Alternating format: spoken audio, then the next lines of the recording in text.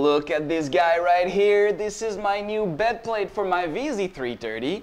It doesn't look like metal. It almost sounds like metal, but it is not metal. This one is made out of graphite and this is a new technology for our printer. And I'm always excited to test new stuff. This is supposed to be good. Let's find out if it's actually good. Let's compare it to a normal print bed, aluminum print bed, MIC6 that we have on my VZ330 and see if it's actually better. It's supposed to be better in thermal expansion. Let's find out.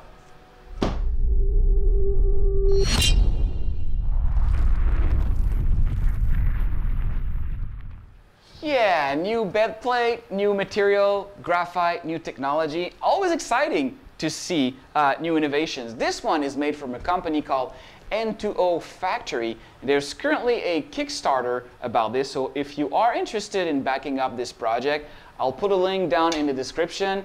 Uh, if you're interested in buying one or get one pre-order, this is going to be where you get it. Made of graphite, um, super hard to machine, super hard to process, so it's a little more pricey than your normal aluminum bed plate, but it's supposed to be more thermal or thermally stable compared to aluminum. So it will deform less with heat, it will stay and keep its shape and that's what we want when we print with a, a high temp material. I print a lot of ASA, ABS, nylon, and so on, so I heat my bed plate a lot. And this is supposed to stay um, or be more stable under heat. So we will find out um, if that is true and if it's worth it. Retail price on this 330 by 330, it's gonna be around 180, 190 from the Kickstarter page. 235 size is gonna be around 140 bucks. I think it's a fair price. If it's really going to be more uh, stable than aluminum, MIC6 aluminum, uh, or cast aluminum, then I, I, am totally down to pay a bit more to get more quality and get something that is stable and performs good. So let's stick a silicon heater, a magnet, and a PEI sheet and check how this guy performs. This is supposed to be ultra flat, super well machine uh, from what I see. Um, but I mean, once we put a magnet and a PEI sheet, I mean, the tolerances on it, as good as it gets, um, you're always going to be down to the tolerance of the magnet and your PEI sheet. So at this point, we're just going to test it and see how much deformation we get out of it and how good it is compared to my MIC6 uh, bed plate. So let's do this. Let's install it and see how it does. So yeah, first test I wanted to do with that bed plate. Before even sticking a silicone heater and a magnet and PEI sheet on top of it, I brought it to the office, put it on a granite block. This granite block is super flat, it's been tested, and it was super good as it is. I tested in every direction, and I was not disappointed. This thing was flat as it is.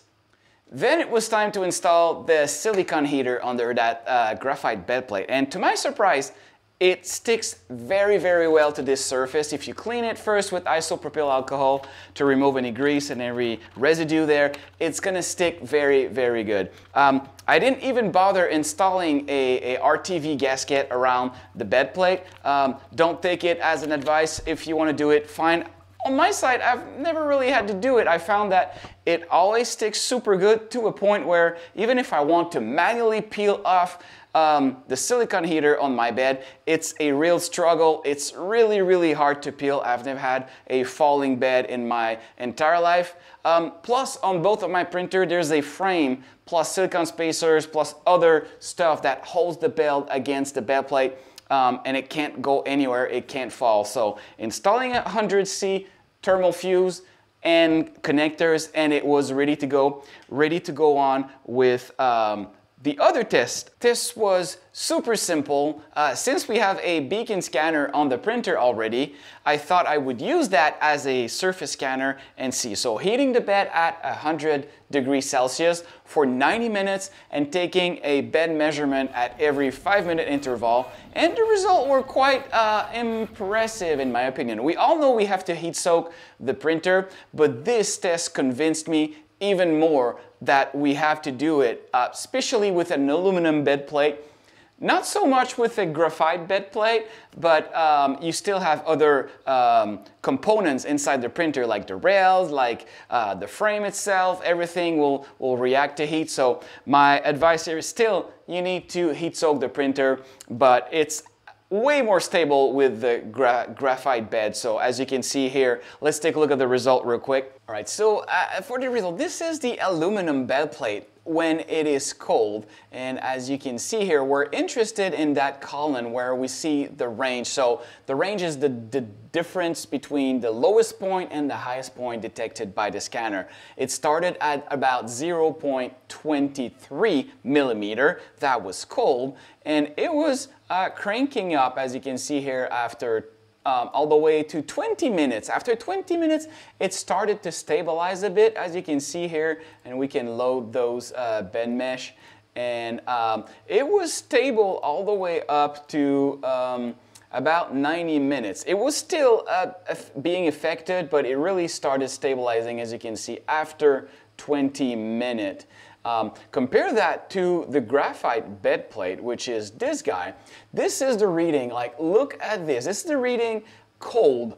Um, we are ultra flat, so it was pretty well machined, uh, 0.05 millimeter. But the most important thing is look at the result as we go on in time. This is about after hot bed after 20 minutes, we're still at 0.05 044. And looking at the result all the way up to hotbed 90 minutes, it was still not moving. It was still super ultra flat, as you can see. Um, not a lot of movement. It was, I mean, I was super impressed. I'm still super impressed and super happy with that heat bed. Um, those results were speaking by themselves.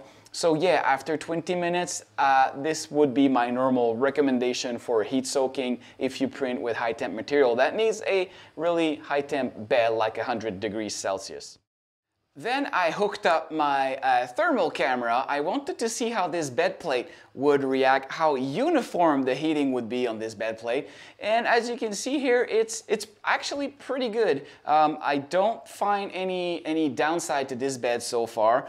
Um, I'm also putting here up there the properties uh, of the bed if you want to take a look at it. It's also in the link in the description if you want to know all the specification. So yeah, with the thermal camera, nothing there to say, pretty good.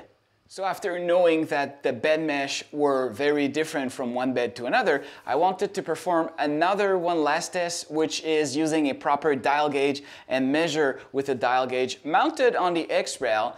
And for this test, I kept the I kept the enclosure open, so that way the heat would not affect the rail as much we just wanted to see how the bed would react, so I opened up the enclosure, ran the test, heated the bed for 10 minutes at 100 degrees Celsius, and see and compare both bed to see how they would uh, be different. And again, um, the graphite bed was, was super stable uh, compared to the aluminum bed all the way to a point where I was doubting my gauge was working or installed properly. I had to tap it uh, on it to see if it was still uh, working properly. It was so that bed didn't flinch at all with heat. It stayed the same, which is quite pretty impressive. Um, while the aluminum bed was um, deflecting for about, uh, let's see, about 0.1 millimeter total. Uh, that might not seem much, but 0.1 is enough to cause kind of uh, uh artifacts on your Z layer height.